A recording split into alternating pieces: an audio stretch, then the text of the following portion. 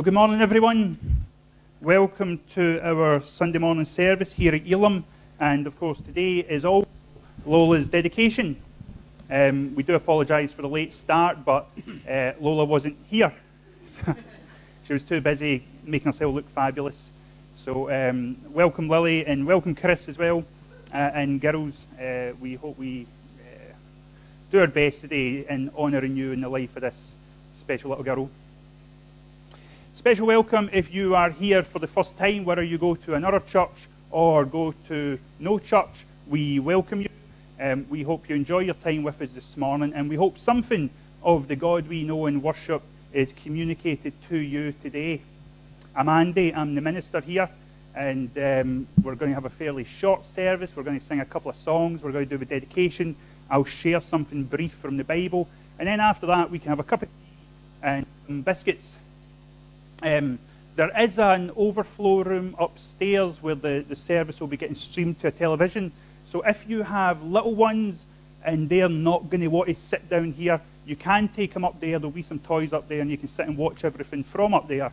Uh, but it's unsupervised, it's unstewarded. So one parent would have to go with their own children if that's okay. Um, but that's fairly easy. If you do need to take them up the stairs, they're just out there at the front. Good, good. Let me just read something from the letter of Colossians before we go into a time of praise and worship. 1 Colossians verse 13. God has delivered us from the, the, domain of darkness and transferred us to the kingdom of his beloved Son, Jesus Christ, in whom we have redemption for the forgiveness of sins the image of the invisible God, the firstborn of all creation. For by him all things were created in heaven and on earth, visible and invisible, whether thrones or dominions or rulers or authorities. All things were created through him, and all things were created for him. And he is before things. In him all things hold together. He is the head of the body, his church. He is the beginning, the firstborn from the dead, that in everything he might be preeminent him all the fullness of God was pleased to dwell, and through him to reconcile himself all things, whether on heaven or in the earth, by making peace with us by the blood of the cross. Amen. Please stand to your feet and we'll just go into a time of praise and worship. God, we thank you, Lord, for our lives this morning. We thank you especially for the life of little Lola and our parents who have come here to dedicate her this morning.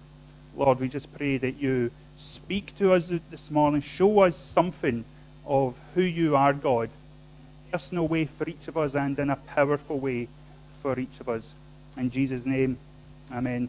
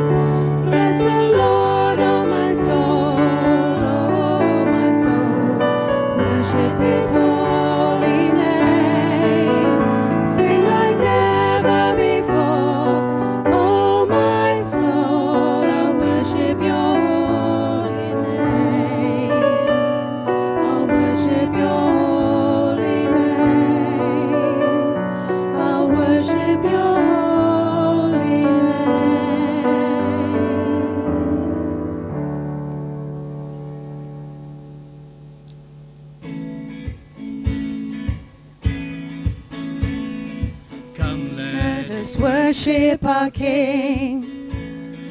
Come, let us bow at his feet. He has done great things. See what our Savior has done. See how his love overcomes. He has done great things.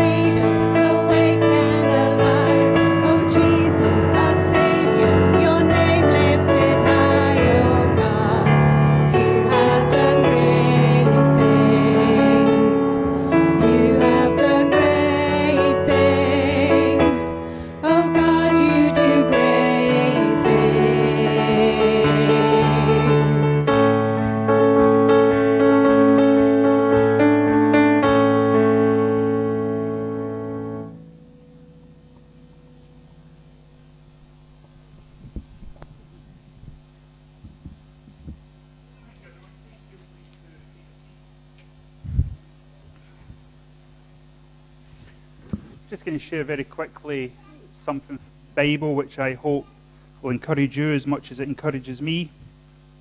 If you do have a Bible with you, if you'd like to t- turn to Psalm 103, if you uh, don't have a Bible, you feel free, free to borrow one from the back, or if you don't own a Bible, please feel free to take one of those as a gift if you choose. Psalm 103, and we'll start at verse 11. Are you sitting there? It's fine. I'm just checking. I'm not, I'm not telling you off. I'm just checking. Um, Psalm 103, verse 11. For as high as the heavens are above the earth, so great is his love for those who fear him. As far as the east is from the west, so far has he removed our transgressions from us. And as, as a father has compassion on his children, so the Lord has compassion on those who fear him. And we'll stop there. We, we live in a very um, scientific age nowadays, don't we? We, we live in a, an information age. We like to know stuff about stuff. we like things to be quantifiable. We like things to be measurable. Um, everything's got a Wikipedia page now, doesn't it? You know, even Wikipedia has its own Wikipedia page in case you want to go and read up on Wikipedia. We're the, we're the textbook generation. We like everything explained. We like everything broken down. Uh, we know now that you know how high Mount Everest is in millimeters. We never used to know that. We know the speed of light. We we like to know how fast our broadband is working. We like to know how long dinner is going to take to cook to, to the minute. Dads, we like to know what the thermostat is set at in the house. We like everything to be quantifiable and measurable and set just right. We like to know that we know how things are. But what I love about the verse that we just read is that when trying to describe certain attributes of God's character, the psalmist, the, the person who's, who's writing this, employs what I can only describe as immeasurable examples. He deliberately goes out of his way to compare elements of God's character with things that would have no calculable comparison to them. Uh, let me just take a couple of minutes and, and look at what the psalmist is trying to say here about God. The first verse we read, the first thing he is trying to explain is the love of God. And, and that's an important thing, isn't it? Does God love? Can God love? I went on Google the other day and typed in, Does God? And I just allowed Google to fill in the rest of the sentence. And the first thing that came up, the most searched for thing, was quite understandably, Does God exist? Which, which is a pretty important question. But the number two most searched question right after that was, God, Does God love me? I thought that was quite interesting that that's what people are searching for in the internet. But of course, why not? Because, because if you personally come to the conclusion that God does exist, the next reasonable thing you really need to be asking yourself well, if God exists, what does he think about me? If he's going to be my judge, then I want to know what he thinks about me. Does he care about me? Does he love me? And who knows, maybe those are questions that you have even asked yourself some nights. I often find that when you're lying in bed late at night and the, the noise of your life starts to go a little bit quiet, that you actually start asking yourself these bigger questions. Thankfully, the Bible and the verse that I just read tries to answer some of these questions for us. The psalmist wrote, as we've read, For as high as the heavens are above the earth, so great is his love for those who fear him. The psalmist here is describing God's love as being so massive, as being so great, that it is as if it is as high as the heavens are above the earth. In other words, who can really measure it? Who can measure how great and how much God loves us? And you can almost imagine the psalmist sitting there with his, with his scroll and his pen 3,000 years ago, looking up at the stars, lost in wonder at how far away they must all be, wondering to himself, that must be how much God loves me. It's so vast, as high as the heavens are above the earth, so great is his love. The second verse that we read, and the next thing he tries to address, is how far God removes sin from us. And, and this is, again, particularly important for anyone who's ever done anything bad in their lives. He says, As far as the east is from the west, so far has he removed our transgressions from us. And what I kind of love about this wee statement he makes, it's maybe a wee bit nerdy, but there's a difference between measuring the, di- the distance between north and south and east and west. I love that he says east and west and not north and south because, because we can measure the distance between north and south because those are places. Those are set places. The earth has a magnetic north and it has a magnetic south. North and south are destinations, but east and west aren't. East and west are endless directions. If you get in a plane and fly north, you will only fly north for so long before you end up going south. If you get in a plane with unlimited fuel and fly east, set autopilot to east, you'll just keep on going east. It just keeps on going. And the psalmist here is saying, as far as the east is from the west, so far has he removed our transgressions from us. And I believe what he's saying is here is that God is able to remove our guilt and to separate it from us to such an extent that the distance between us and it would be immeasurable.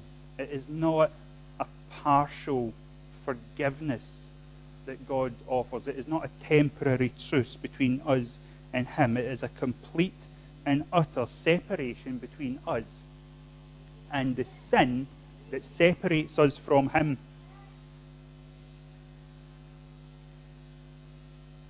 The only thing in our life that separates us from God, the Bible teaches, is sin. That's the thing that's between us. But the gospel message has always been clear on one thing that through Jesus and through what he did on the cross, that that sin can be forgiven and we can find freedom from it. As far as the east is from the west, so far has he removed our transgressions from us. Amen. And the final thing that the psalmist addresses here is the compassion of God. Is God compassionate towards us? Is God angry with us? Is he short tempered? Is he cruel and malicious? Or is he compassionate? Is he merciful? And the example the psalmist gives here is that of a comparison with a as a father has com- compassion on his children, so too does the Lord have compassion. Scripture compares God's compassion for us with a parent's compassion for their child, a dad and their child. I mean, just think about Chris for a moment. Sorry to put you in the spot. Um, let's just think about Chris's compassion. Chris has just survived living in lockdown, working from home, with three daughters. I mean, let's just forget about Lola for a minute. I, I think, Chris, you really deserve a medal, to be honest. I wonder if during that time you had to exercise some compassion and not just sending them away to boarding school halfway through the lockdown. This close. Had to exercise some mercy. We salute you. I'm the, I'm the same. Sometimes Elsie drives me to the utter edge of madness. Sometimes it's three in the morning. She's still not asleep. I'm going in. I'm trying to settle her. She relaxes. She waits until I relax. And then she sticks her finger right in my eye. And she loves it. In moments like that, it can be real tempting to just send her away. To just send her to the grandparents and live in a different house from her for a little while. But all it often takes is for her to say something cute or to give me those sad, kind eyes that she does. And, and you know what? It's all forgiven. It's all forgotten. Because there is a bottomless well of compassion that parents seem to have for their children, which mean they will put up with almost anything. And the scriptures tell us the same way that a father has compassion for his child, so too does God have compassion for us. It's a compassion that overlooks our mistakes and our failures and our shortcomings. It's a compassion that overrules everything else and says that no matter who we are or what we've done, if we ask Him, He'll be there. And He'll pick us up and you'll put up with us a little bit longer. So, if like me, you do ever lie awake in bed at night wondering, does God really love me?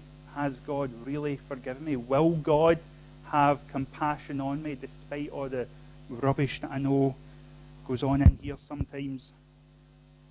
Remember that the answer to all three of those, according to Scripture, is an immeasurable, resounding, and enduring yes. Yes, He will, and yes, He does. Amen. Let me just pray for you. Lord, we thank you for your word to us today that we've heard. We thank you for this scripture that speaks of you, and we thank you, Lord, that through the Bible and through personal experience, we, we have come to know you as a God who loves, as a God who forgives, and as a God who extends endless compassion. And I pray, Lord, for anyone who is here today, God, who may not know you, who may be asking questions about you, who may be seeking you, God. I pray that your love, your forgiveness, your compassion would be known to them, God, in the way that they need it to be made known. In Jesus' name. Amen.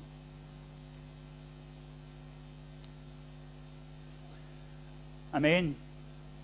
We will now move to the dedication part. Breath girls, you ready to come up?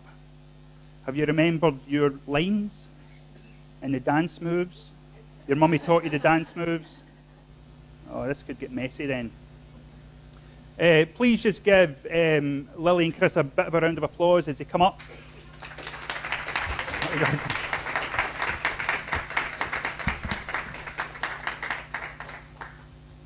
You coming up, girls?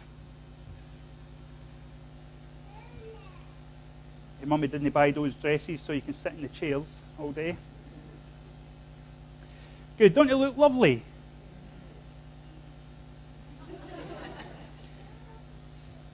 You happy, Lola? She's happy. Good. No meltdowns. Good. good. Let me read something from Deuteronomy chapter 6. Hear, O Israel, the Lord our God, the Lord is one. You should love the Lord your God with all your heart and with all your soul and with all your strength. These commandments that I give you today are to be on your hearts, and you should impress them on your children. Talk about them to your children when you're sitting at home or when you're walking along the road, when you lie down and when you get up. Chris and Lily are here today because they are following through on this command to raise Lola in the way that would direct her life towards God, a life of goodness and godliness. Today they are dedicating her and committing to do their best to raise her in a way that. And we are also asking all of you here today, as friends, as family members, as church Christian brothers and sisters, and particularly those who have the honour of being called godparents, we are asking you today to stand with them, to make your commitments to help them raise Lola in the way that they want to.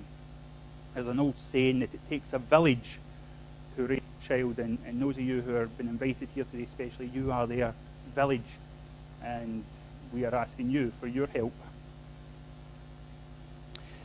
At this point, I'm going to give you guys some commitments, and then at the end, if you would just like to accept those commitments by saying we will. And then I'm going to ask you guys some commitments in line with what I've just explained. And at the end, I would like you to agree to these commitments by standing to your feet. Now, don't worry about it. I'll, I'll give some sort of indication about when the right time is. And if not, just look for that one confident person who boldly stands up. But for the next few minutes, if no one could get up to go to the toilet, because you might just a bit of a Mexican wave scenario. Chris and Lily, in presenting this child to the Lord, do you promise independence and divine grace and in partnership the church to teach her the truths and duties of the Christian faith and by prayer and by teaching and by your example to bring her up in the discipline and the instruction of the Lord? Thank you. And do you, as the members of this church, the friends, the family, and the godparents, acknowledge and accept the responsibility, together with the parents, of teaching and training this child so that being brought up in the discipline and instruction of the Lord, she may be led in due time to Christ as her own Saviour and be made a member of His church? If so, will you please signify your acceptance of this charge by standing to your feet? Hallelujah. Let me just pray. Lord, we thank you for the life of Lola Celine. We thank you for her safe birth. Thank you for her health and her safety, and we commit her into your care. Lord, we thank you for the beautiful lives of our sisters Lexi and Lucy, and we pray that the freedom will always share together in the bonds of love and joy. God, we thank you for her mum and dad, Chris and Lily. We thank you for their strong marriage, for their love for one another, and for their determination to raise Lola in goodness and godliness. And God, we pray you would strengthen them as they seek to raise her. We pray that you would give them wisdom as they seek to guide her. And we pray, God, that you would always prosper them so that they will always be able to provide for her. And to you, Lola, may the Lord bless you and keep you. May he make his face shine upon you and be gracious to you. And may he turn his face towards you and give you peace, now and always. Amen. Amen. Can we get a round of applause for this family, please, and for little Lola?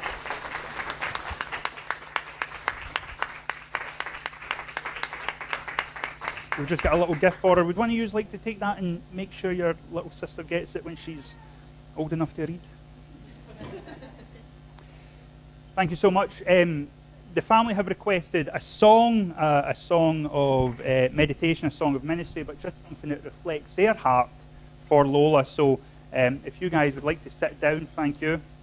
And uh, if you would all like to sit down, and our music team are just going to perform for us something that reflects the heart of the parents today. Thank you.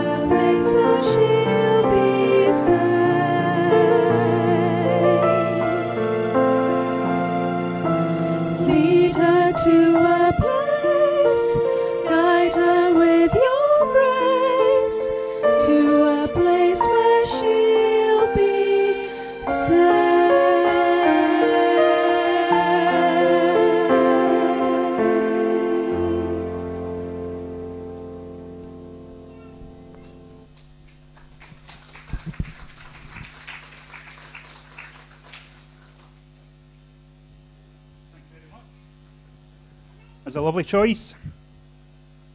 Is that off your soundtrack, Chris? Is that one of your? Is that your jam? Thank you so much. Um, at this stage, I, I, do just want to offer um, the parents an opportunity. Uh, if there's anything you want to say, um, or do you want me to pass on uh, the kind of messages we discussed, Lily?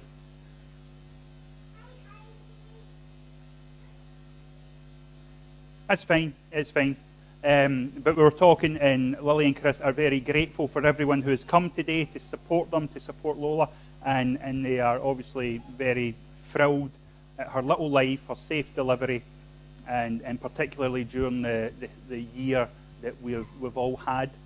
Um, so um, we graciously receive your, your thank yous. Um, that brings us to the end there are some refreshments going to be at the back. I suggest if, if you're wanting to take pictures and pictures with the family or pictures with the kids and stuff like that, maybe do that down here at the front. And then tea drinkers can to the back and photo people can come to the front, and that might be a good way to, to sort of manage it. Um, we do have uh, an offering box for those of you in the church who, who come usually to tithe. And of course, if you want to make a donation to anything this morning, you're, you're very welcome to do so, but you're under no obligation. And if you have any questions about anything we have done this morning or anything we did, please feel free just to nab me and I'll be happy to chat through anything you want to know about the church or anything I've said. But without any further ado, one last time, let's just give little Lola a, a round of applause.